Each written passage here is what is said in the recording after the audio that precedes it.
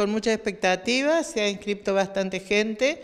Igual hay este lugar todavía, así que aprovecho esto para invitar a quienes quieran hacer este taller. Es un taller que dura tres horas, se van a este, otorgar certificados y es gratuito. Eh, este, el taller es la gerocomunicación en el siglo del envejecimiento poblacional. Eh, está bueno que lo hagan los trabajadores de prensa, pero igual lo puede hacer cualquier persona interesada en el tema. Recuérdenos cuál es el objetivo de esta instancia de capacitación, cómo surge la posibilidad de realizarlo.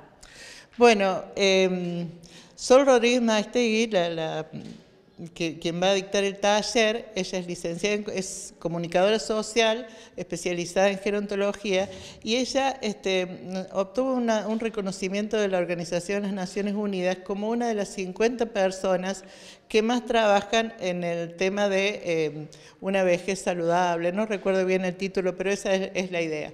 Este, el tema fundamental es que este es el siglo del envejecimiento poblacional, así lo ha establecido la Organización de las Naciones Unidas, porque este, en la medida que la mm, esperanza de vida avanza y que el, nivel de nacimiento es más bajo, eh, estamos muy próximos, en Argentina creo que está calculado para el 2025, que haya más personas mayores de 60 años que niños menores de 5. O sea que si andas en la calle te vas a encontrar con más viejos que niñitos.